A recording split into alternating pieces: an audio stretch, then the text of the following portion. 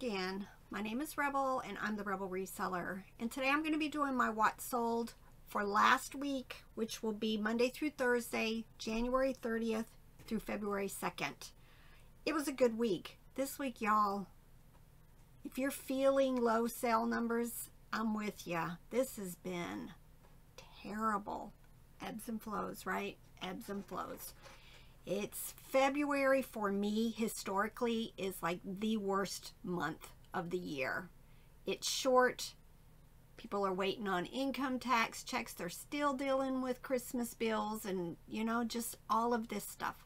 Bad economy, everything. But February has always historically been my worst month. But it still gets disheartening I'm listing, listing, listing, cross listing. Um, and these four days that I'm going to share with you, I had quite a few sales on Poshmark, so I'm really focusing on there. Um, if you're not in my Facebook group, go join it. We talk about a lot of things over there. Yes, there's a lot of plush, but we talk about other things. But I made a post this week because it just, um, I realized not everybody um, has been able to get the excluded listings. If you're in the new eBay International program, there's just some things you know personally that you do not want to ship internationally. Um, and I didn't realize you actually have to click some buttons to be able to see excluded listings when you're going, I mean, excluded countries. If I said that wrong, forgive me. I always think one thing and say something else. But if you're wanting to exclude certain listings from certain countries, you can go into your excluded countries and it's like right, if you set it up properly, which I showed in my Facebook group how to do it, um, you can go in and exclude certain things from countries. Like I do not ship Levi's because European Union will, um, you'll get a Vero if you have it open to European Union. Um, and I, I've heard there's other countries also that they're starting to deal with. Perfumes, we know we can't ship them internationally. And knives. There's probably a whole bunch more. If you know of other things that definitely shouldn't be shipped internationally, add it down in the comments so we all can learn a little bit from that too. Because um, I may have something that I shouldn't have opened. And I've seen the posts where eBay is sending messages saying, you know, we've removed this from the international shipping program. Um, but I've also seen posts where people are saying they're getting Veros. So just if you don't want it shipped internationally, and it may just be you don't want to ship breakables, you don't want to, you know, ship electronics, any of that stuff. If you if that's your business model, then go in and exclude all countries. You can set it up where nothing will go international. So go to my Facebook group. All right, let's get started. We'll start with Mercari. Um, I have two sales on there to share. This was from Fisher Price Loving Family. What's funny is I bought a box of dollhouse stuff. Some of it was Barbie. I listed the fence pieces that go to one of the dollhouses. It's like an add-on feature from 1997. So this is the Dream Loving Family stuff. Um, sold instantly and then I realized in the box that I actually had the gate. So I just listed it on eBay if you're new to my channel, I list everything on eBay and then I use List Perfectly to cross list to the other platforms. Um, it's been listed a little while. I finally got an offer on Mercari for $7 and I went ahead and accepted it. Cowboy Bob Orton. This is a wrestling figure. It's vintage. It's one of those rubbery. It's not really jointed um, eight inches. I picked it up at an estate sale. I want to say I paid two or three dollars for him. He sold on Mercari for fifteen dollars. Now Posh, I had let's see, two, four, six to share with you. So Posh was really great last week. All of the other platforms, I had a few sales in. Um, this week, hardly any. It's like all of the platforms all of them are very, very light in sales. Um, this is United Colors of Benetton. You know I had to pick this shirt up because it was purple. Not my size, but just it catches my attention. Sold for $16 on Posh. Calvin Klein Flare Fit Women's Jeans, $18. Quacker Factory. I find this around in our area quite often. It does very well for me. Um, just a very popular brand.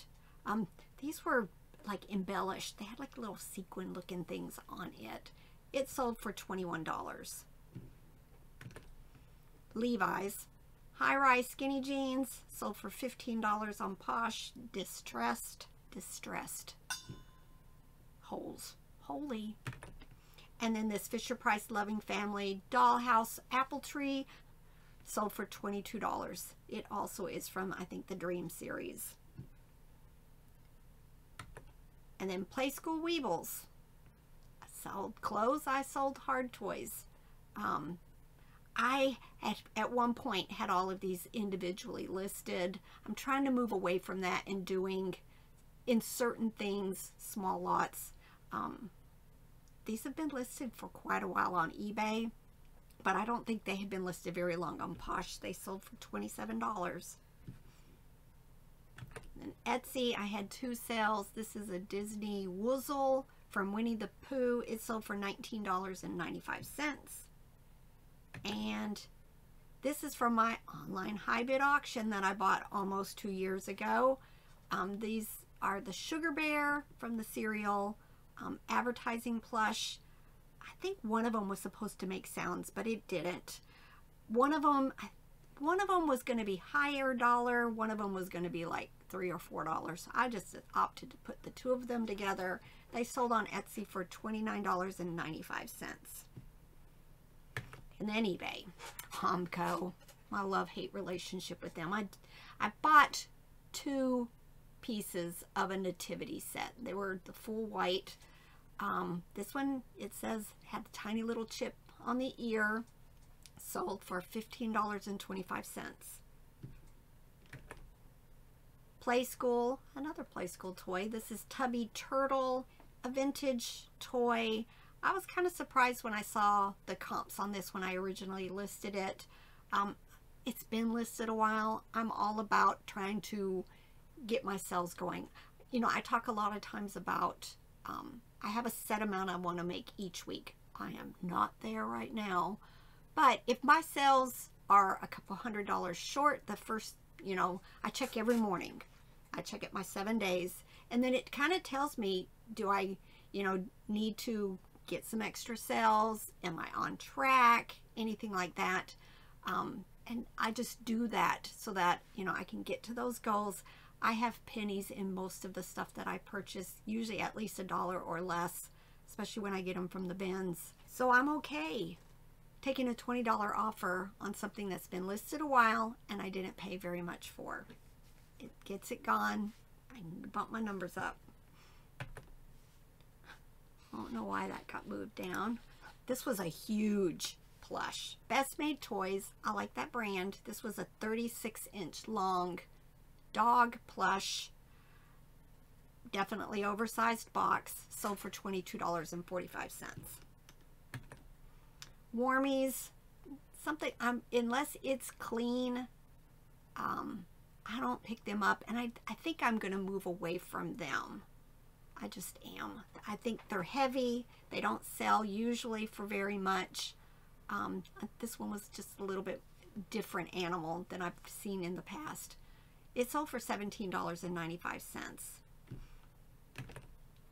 Lego Duplo. I'm pretty sure I got these at the bins. Um, I've been plowing through a lot of my bins bags, trying to get a lot of the smalls listed. Anytime you see the Lego Duplo train tracks, I think they come in like a black or dark gray and then this light gray.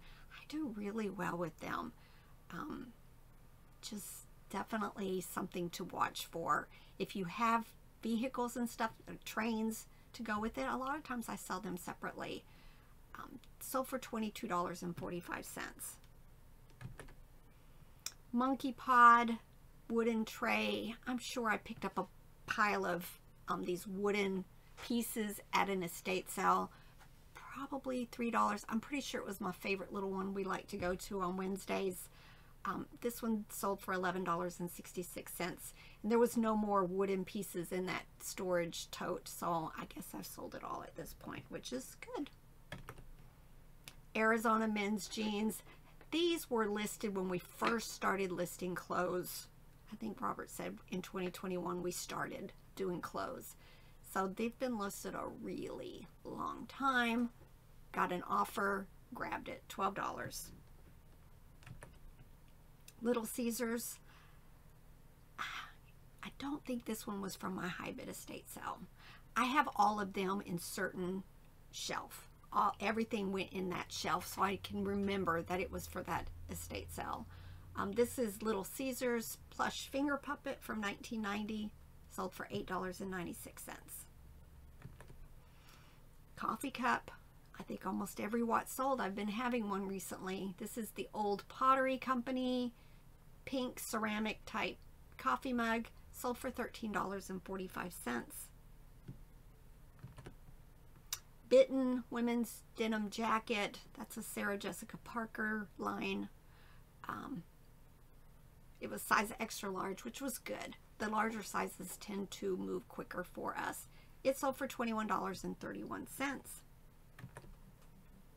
Calico cat plush from Toys R Us. Larger, 18 inches long. Again, if you're selling plush, I highly encourage you to make like your last picture with a tape measure. I added this little mat that's in my listing area. Sometimes I remember to pull it back. I just go ahead and leave it. If it's the first picture, it's fine. But um, it sold for $22.45. Boyd's Bear. This is a mohair wool plush, six inch, really small. Pretty sure it was jointed. I picked this up again. I'm sure I picked up um, three mohair bears at my favorite estate sale. I'm pretty sure I paid a dollar each. This bear sold for $12.10. Again, if you're new to my channel, I don't do free shipping. So when I say somebody purchased something for that price, they also paid shipping. Um, this is a viewer sale, so thank you so much, Stacy. This is a white rabbit. I'm pretty sure it went to a book because the manufacturer was Public Publications International, um, sold for $9.95. Applause Bear. This is Grandma Bessie and Grandpa Sam from 1986. They were just adorable. Pretty sure I remember picking these up at an estate sale. Um, they've been listed a while. Again, if I get an offer, it doesn't bother me if, you know, it seems to be a lowball offer. I go back in. I check comps again. I see, you know, what other people are selling it for or listing it for. I'm pretty sure this was one of those that somebody else had them listed for even less than my offer. Um, and you see that a lot of times. Some people would consider that the race to the bottom. But, you know, I don't feel like, you know, holding on to these to try to get a higher price was worth it. $25 was an excellent offer on them. So they're gone. Kim Possible, I picked this up at one of my recent estate sales I shared with you guys. Um, picked up a lot of smalls, a lot of little figures. This was um, Kim Possible, think his name was Ron. Yeah, it's there. Ron, these had like magnetic hands. He had a little stain on his face. I did put that in my listing. Sold for $13.45 very quickly. Russ Pucker's Pig Plush 8 inch. I do really well with pigs. I guess a lot of people, there's collectors for everything. It sold for $13.45. Wranglers, we pick up a lot of Wranglers. $15.94 for a pair of Wranglers. You can't beat that. Easy. Clothes are so easy. Yes, they take a little bit more to do the measurements and everything, um, but they're easy to list, easy to ship. Welbilt bread pan. These are the replacement pan and paddle We actually bought the bread maker and it had an extra one. I want to say we paid $5 for all of it, an extra pan and paddle. Um, I This is the second one to sell. These sold for $22.45. Definitely check comps on bread makers. You see them at oh, every yard sale almost, it seems. Some of the pans and especially the paddles sell very quickly. Wallace Berrie. This is a cute little hippo plush. That tie that you see on him was actually paper. It's from 1978 and it still had its paper tag um, tie. $13.45. Dan Dee. I Pick up a lot of it. Um, this is before Valentine's Day, so good quick sell. Um, said love kiss. You just kind of could put the little heart on different areas. Um, sold for $8.96. Paw Patrol. Um, I didn't put Cake Topper on there. Usually with these small little figures, put Cake Topper on there also because people buy them to decorate birthday cakes. Um, had them listed for a while. Got an offer of $9.99. Accepted it. Lego minifigure, still selling. Still got quite a few of them though. $8.96. License plates. I picked like a dozen out of a huge lot that we bought at the Highway 127 sale. Um, this is probably, I think, maybe the fourth one I've sold. It sold for $11.66. The rule is um, in Tennessee, and maybe I think I read it somewhere else, um, your plates have to be three years or older. We just had a major plate change here, so I don't think there'd be any issue selling a lot of, um, you know, right now people are still replacing them out. So probably by next year, everybody will have changed over to the new plates, and then those will also be, you know, able to be sold. Geppetto. I picked this up at that recent estate sale. Bought a bunch of hand puppets and some Folkmanis hand puppets and mini um, finger puppets. Paid $3 for this. It sold very quickly for $11.45. Aurora Baby. This was a little rattle plush. Sold for $9.37. This is the second time selling this handkerchief. The first person bought it and said changed mine and sent it back. When you get those types of returns, um, I don't give them, I used to, but now I realized you don't have to. I don't give them their original shipping. I do offer free returns, so I am going to pay to have this back. Um, and I'll, it's sold very quickly again. Um, but don't give them their original shipping back. You don't have to, especially when it's changed mind, didn't like, anything like that. You are going to get hit with re hit, having to refund um, initial shipping if it's an INAD or defective or anything like broken. But for the ones where they just changed their mind. This is a, I bought these at an estate sale. I bought a whole pile of vintage bandanas. This person was a craft person. Um, none of they, they were all, some of them still had their original tags with them. Um, you could tell it had never been used. They were still very rigid, like they'd never been washed. Um, and I've sold a couple of them. This one sold for $15 though. It's Wamcraft bandana with a Southwest Tribal thing made in the USA. Oops, coffee. Kellytoy, um, Gray Bear, the little heart um, had baseball theme to it. Sold for $14.95. That tells me that I had ended it, did a sale similar, and it sold before my sale started again. Ho Sung, I find these um, monkey puppets quite often. There's also a small plush that looks very similar. Sometimes it has like baby clothes on it. Um, this one was from 1994. It sold for $17.95.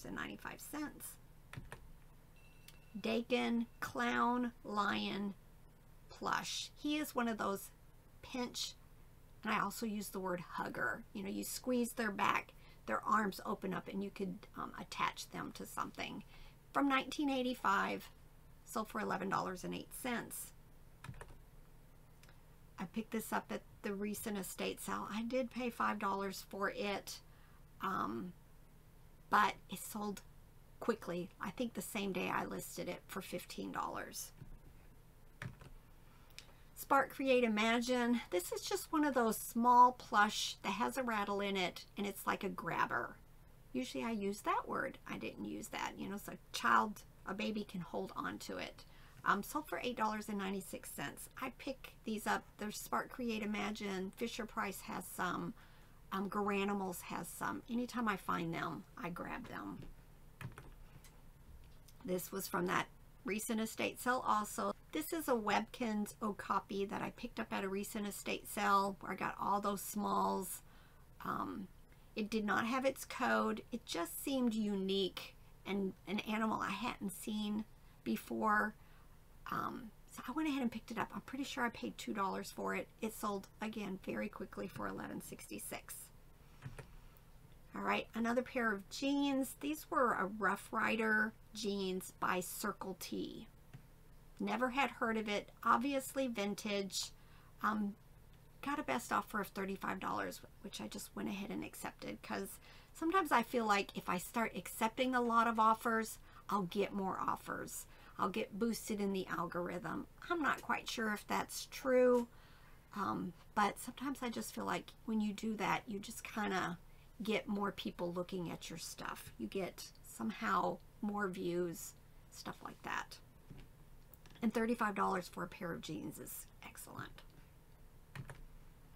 And then this Squishmallow. My love-hate relationship with Squishmallows. This is one of the larger ones, 16 inch. Pretty sure he was from the lot that I bought nine Squishmallows at a yard sale for $50.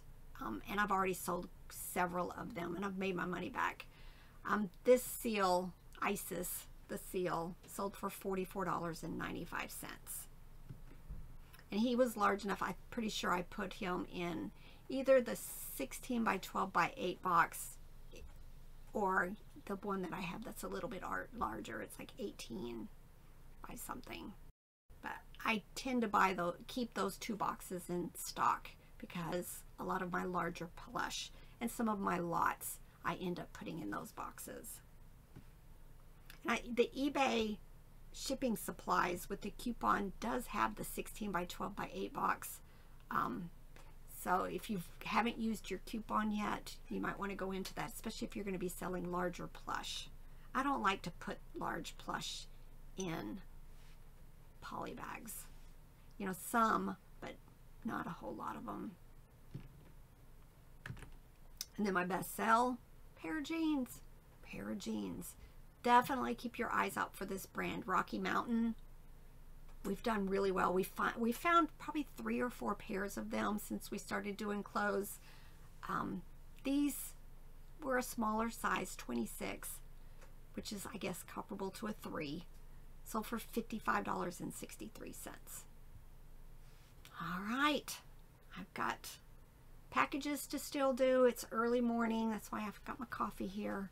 Um, sometimes when I got sick in January, I slept in a lot. You know, I'm normally an early bird, but now you can tell I'm better because 5 o'clock this morning my eyes popped open. I was listing by probably 5.10. That's just first thing I do is go and do my listings for each morning. So you can tell I'm better. No sleeping in for this girl. But then again, I complain when I do accidentally sleep in till 6.30 because it messes up my morning. I have a schedule. And if I don't start listing till 6.30, it just throws the rest of my day off too. Can't please me. Can't. All right, let's get to work. Bye.